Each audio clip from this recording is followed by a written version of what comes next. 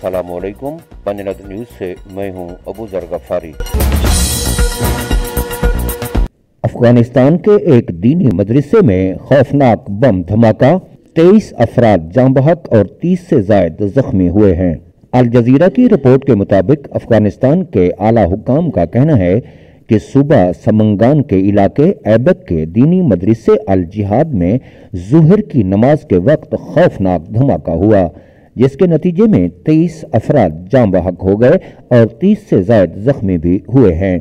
जाम बहक और जख्मी होने वाले तालब इल्म हैं। धमाके की नवियत का तयन किया जा रहा है।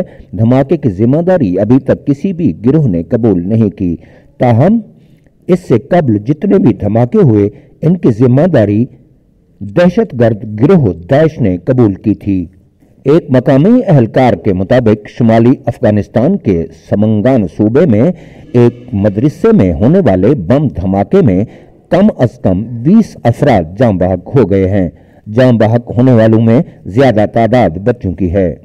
शहर के वस्त में वाक़ जामिया, यानी मदरसा के अंदर दोपहर बारह बजकर पैंतालीस मिनट के करीब एक धमाका हुआ और इस धमाके में ज़्यादातर लड़के शहीद हुए हैं जो इस मदरसे में पढ़ रहे थे। फौरी तौर पर अभी तक किसी गिरोह ने इसकी ज़िम्मेदारी कबूल नहीं की है। वफाकी वजारत दाखिला के तर्जमान अब्दुल नफी तकोर ने धमाके की तस्दीक की है।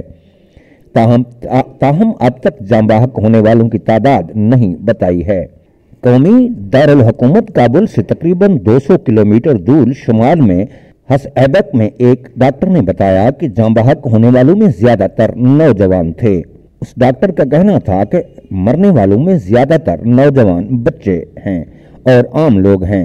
ये थी अब तक की अहम खबरें। इसी के साथ ही अबू गफारी को इजाज़त दीजिए। अपना ख्याल रखिएगा। अल्लाह हाफिज। अफवाज पाकिस्तान, जिंदाबाद। पाकिस्तान, पाइंदाबाद।